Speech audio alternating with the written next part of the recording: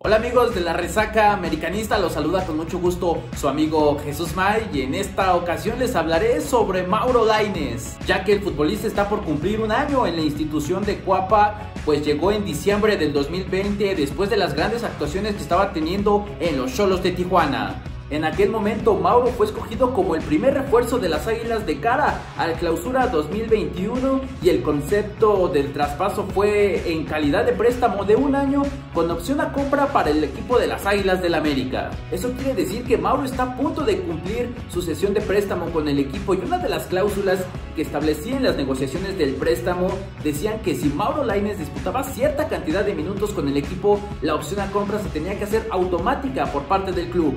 El presidente deportivo del América, Santiago Baños, reveló recientemente que los minutos de juego de Mauro Laines con el equipo ya se cumplieron, por lo que las Águilas harían efectiva la cláusula y comprarían en definitiva al jugador de 25 años de edad.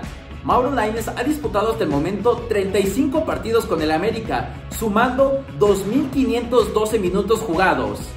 Ha estado defendiendo los colores azul crema en 29 partidos del fútbol mexicano y 6 de la Conca Champions. En el presente torneo ha sido titular en 7 partidos con el equipo de Santiago Solari. Sin embargo, es importante recalcar que ha tenido minutos en absolutamente todos los juegos que el América ha disputado en esta apertura 2021.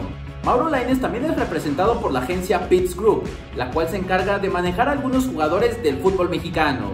E inclusive ya muchos jugadores de esta agencia han llegado a las Águilas del América. Además de Laines, también Luis Fuentes, Jordan Silva, Brian Colula, Emilio Sánchez, Henry Martin son los jugadores que pertenecen al América y que son representados por Pitts Group. Cabe resaltar que de todos ellos, Henry Martin, Luis Fuentes, Jordan Silva y Mauro Laines pasaron directamente del equipo de Cholos de Tijuana al Club América, por lo que esta agencia ya se ha convertido en un proveedor auténtico del club de Cuapa. Según el portal Transfermarkt, Mauro Laines tiene un valor actual de 2.5 millones de euros, lo cual lo establece como uno de los 10 futbolistas más valiosos del actual plantel del Club América. Mauro busca emular lo que su hermano menor, Diego Laines, consiguió en el equipo azul crema, pues en el 2018 el menor de los Laines fue pieza fundamental para el último campeonato de las Águilas, el cual ganaron derrotando 2 por 0 al Cruz Azul en la cancha del glorioso Estadio Azteca.